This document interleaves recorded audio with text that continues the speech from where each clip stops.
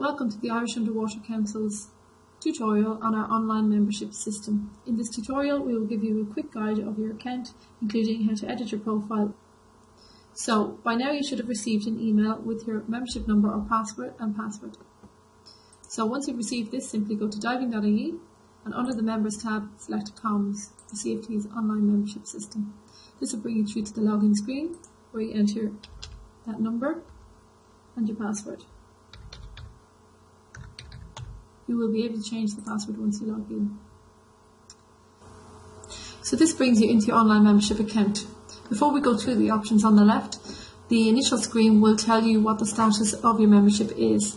It's important to always note this. If the status says current, it means that you are currently insured to dive or snorkel. If it says pending or lapse or pass, it means you are not. We will be going through the fit to dive process later in this tutorial. So we'll take a quick look at edit profile. Simply select this from the left hand side.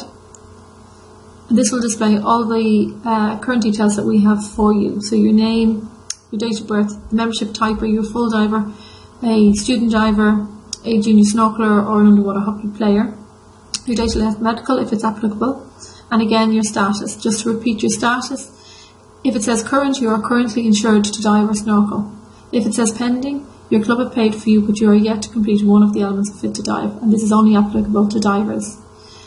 If it says lapsed or passed, it means you are currently not a member of CFT. Your email address, your phone number, and your postal address. You can update these if you need to do so. Uh, your next kin details. And if you'd like to receive subsea, it's automatically ticked to yes to receive subsea. But if you are in a family where there are a few members of the organisation and you only want one copy of subsea to be delivered to the address, you can simply uncheck it.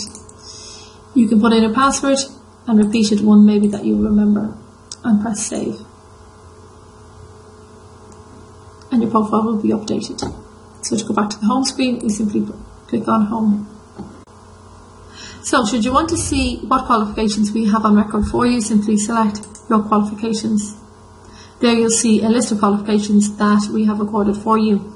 If you have a qualification that is not recorded there, please contact Sarah in the office on sarah at diving.ie or 01 2844 601.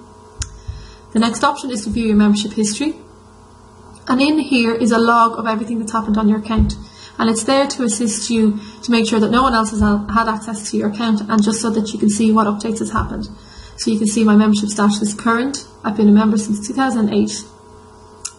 The last order I did was a course which was 3305. My water fitness test is due in December. My annual medical disclaimer is due in December and my next medical is not until 2018. Okay? So you can see then it gives a whole list of logs of anything that has happened to your account. So please check down and ensure that you are familiar with everything that has happened. So that concludes our short video on how to edit your profile.